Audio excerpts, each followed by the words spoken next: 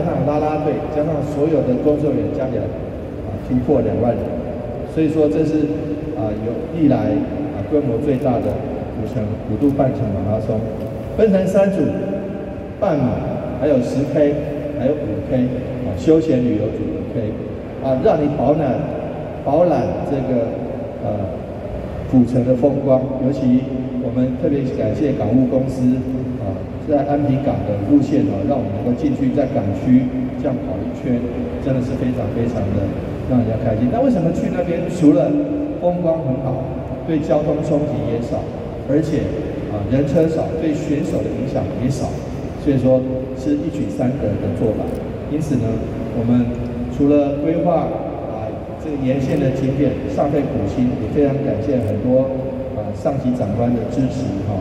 那也感谢中华民国田径协会能够啊帮忙我们这个呃古都半程马拉松，非常非常具有吸引力。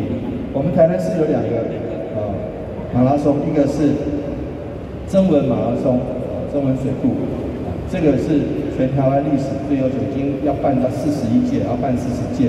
四十年前你看办马拉松，啊中间又有经过疫情啊有停摆，所以这四十届啊。这四十年是真真真金实银哈，这个真真正正的四十年。另外一个五度半程马拉松，哦，我们也是让啊在马拉松跑界、跑友界非常享有盛名的。